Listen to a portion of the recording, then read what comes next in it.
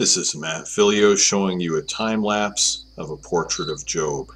This is an 11 by 14 acrylic on canvas, uh, painted for a book cover illustration for Russell Stendal's book on Job. You can get started off with a very light layer, sealing in the sketch, and then doing a kind of grayish layer using raw umber dark, a little bit of titanium white and matte medium Slightly different approach than my usual glazing technique, going a little more opaque this time, doing almost of a grisaille technique. With that initial layer, it's several shades darker than white, so I have kind of a mid-tone to work out of. And then filling in all the shadowed areas using this kind of sepia tone color of raw umber dark and titanium white. Again, thinned with matte medium, so some of the details show through. You can see I'm filling in the form based on the reference photo on the left where I modeled for that and getting just the shadows in, filling those areas and creating kind of a chiaroscuro effect. And this technique doesn't work for all portraits, but for something like this where there's a high degree of contrast, very strong lighting, it works very well.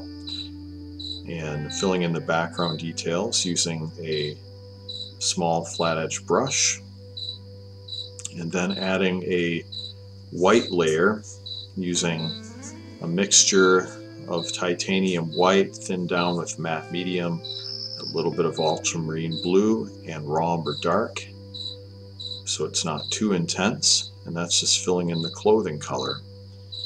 And now the next step is to add highlights into the clothing using a titanium white mixed with a little bit of Indian yellow and raw sienna just to warm it up a little bit.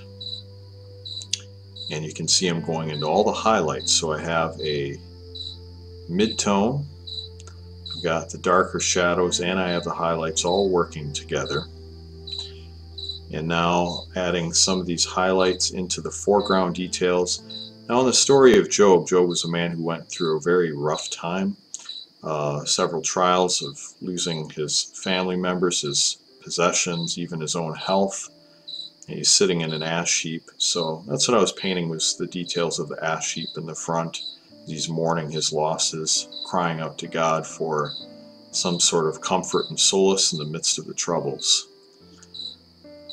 And now I'm adding the dark shadows in, the, the dark, the darkest values and if you look in the reference photo, if you can see that, they're just very, very dark shadows within the folds of the fabric, uh, the shadow behind his body.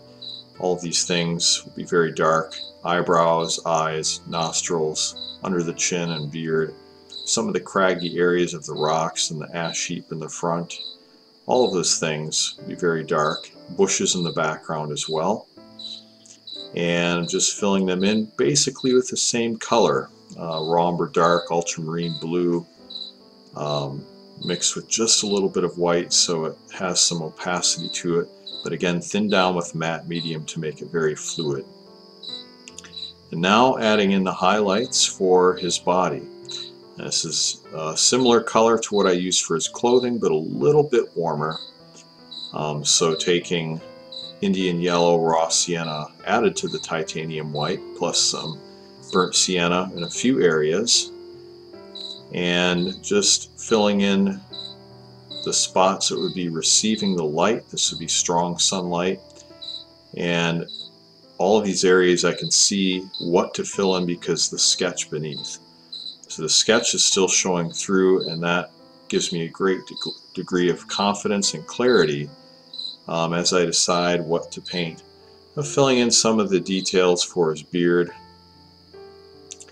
and also for the back of the neck some architecture of the uh, muscles and tendons and veins within the neck and some cragginess of the beard and defining some of the shadows underneath his arm as well.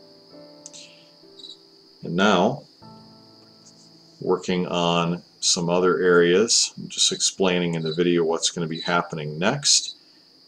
Now adding some of the dark shadows within his body. So we had an initial tone um, and now it's time to add a second layer to darken it and refine it. give a greater degree of contrast between the highlighted areas and the midtone.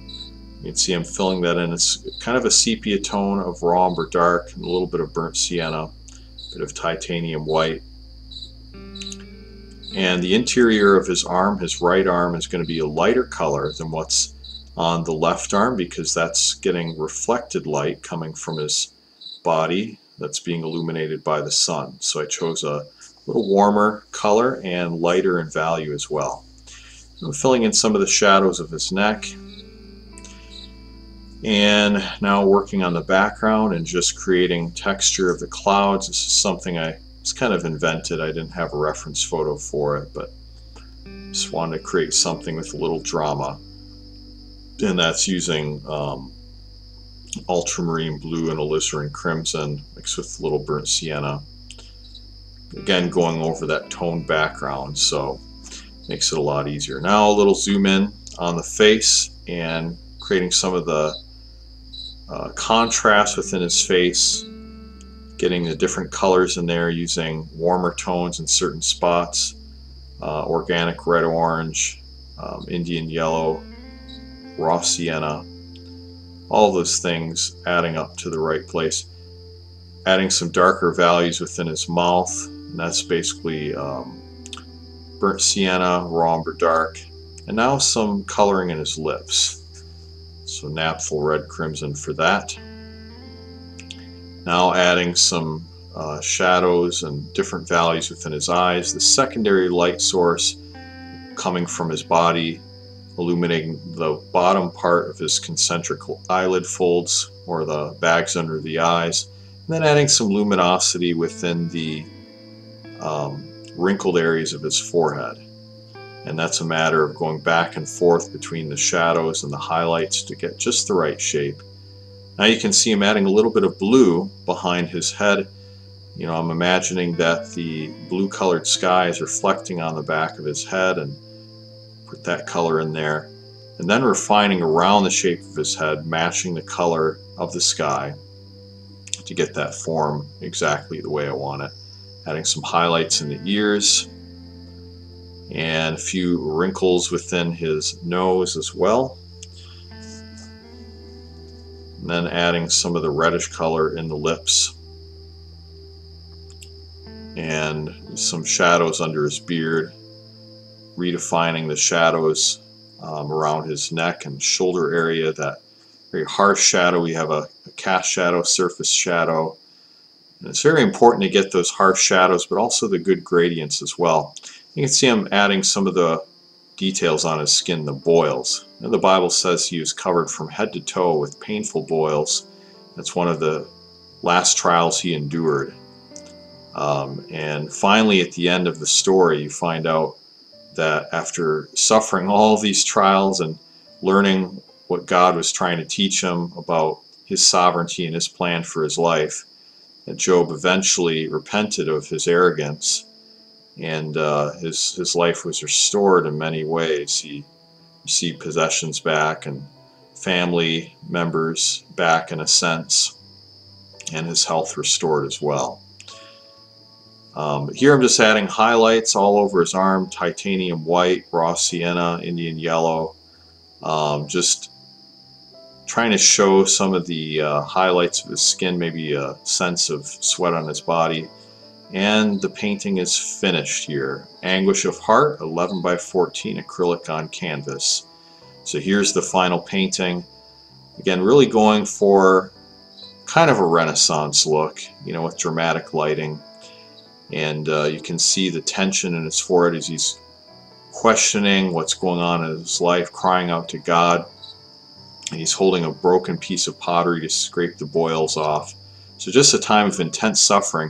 I would recommend you read the book of Job and, and really discover more of the story. But hope you enjoyed this painting. And um, if you would like to subscribe to my channel, I have more videos here like this. Please give the video a thumbs up if you enjoyed this channel. And then also at realisticacrylic.com, um, I have more tutorials there. In fact, I will be doing a course on this painting of Job, taking all the video footage you saw here. Um, here in this video it's compressed and it's in a time-lapse format but I actually recorded a couple hours worth of video that will be available at realisticacrylic.com. Not sure the, of the exact length, I'm guessing between an hour to two hours of video showing the progress of the painting and how, how I did it step by step using the colors and the different techniques. So if you'd like to learn this particular technique of uh, doing more of a grisaille where you have a dark um, kind of a monotone background and adding more opaque layers on top of it and then glazes finally on top of that. I'd love to teach you that. You can join realisticacrylic.com and learn more about that as a student, as a member of my uh, monthly program called Realistic Acrylic All Access. You'll have access not only to this course when I launch it, but all my other courses as well. Anyway, thank you so much for watching this video. God bless, and we'll see you in the next one.